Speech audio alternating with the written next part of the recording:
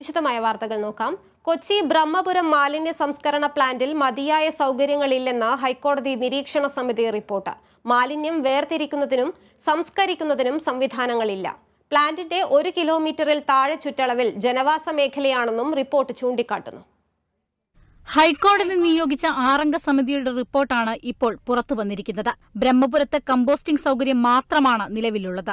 അതും അൻപത് ശതമാനത്തിനുള്ള സംവിധാനമേ ഇവിടെയുള്ളൂ. മാലിന്യങ്ങൾ ശാസ്ത്രീയമായി വേർതിരിക്കാനോ സംസ്കരിക്കാനോ സൗകര്യങ്ങളില്ല. കമ്പോസ്റ്റ് വേർതിരിക്കുന്നതിനുള്ള സംവിധാനം മാത്രമാണ് നിലവിലുള്ളത്. മാലിന്യത്തിൽ നിന്ന് ഇന്ധനം ഉൽപ്പാദിപ്പിക്കുന്നതിനുള്ള സംവിധാനങ്ങൾ ബ്രഹ്മപുരത്തില്ല. മാത്രമല്ല പ്ലാന്റിന്റെ ഒരു കിലോമീറ്റർ താഴെ ചുറ്റളവിൽ ജനവാസ മേഖലയാണെന്ന ഗുരുതര കണ്ടെത്തലുകളും റിപ്പോർട്ടിലുണ്ട്. മാലിന്യം മൂടി സൂക്ഷിക്കുന്നതിനുള്ള സംവിധാനങ്ങളോ ആവശ്യത്തിന് ജീവനക്കാരോ ഇല്ല. ആകെ അൻപത് ജീവനക്കാർ മാത്രമാണ് നൂറ്റിയെട്ട് ഏക്കർ വരുന്ന മാലിന്യ പ്ലാന്റിൽ ജോലിക്കായുള്ളത്. വെള്ളപ്പൊക്ക സാധ്യതയുള്ള പ്രദേശത്താണ് പ്ലാന്റ് നിലനിൽക്കുന്നത്. മലിനജലം ഒഴുകിപ്പോകാൻ മതിയായ സൗകര്യങ്ങളില്ല. മഴക്കാലത്ത് പ്ലാന്റിൽ നിന്നും ഒഴുകുന്ന ജലം തൊട്ടടുത്തുള്ള കടമ്പ്രയാറിലേക്ക് എത്താനുള്ള സാധ്യതയുണ്ട്. കൊച്ചിയിലെ ജനങ്ങൾ കുടിവെള്ളത്തിനായി ആശ്രയിക്കുന്ന പ്രധാന സ്രോതസ്സാണ് കടമ്പ്രയാർ. നിരീക്ഷണ സമിതിയുടെ ഈ റിപ്പോർട്ട് ഹൈക്കോടതിയിൽ സമർപ്പിച്ചിരിക്കുകയാണ്. ഇനി കോടതിയാണ് വിഷയത്തിൽ തീരുമാനമെടുക്കേണ്ടത്. Kerala vision news Kochi.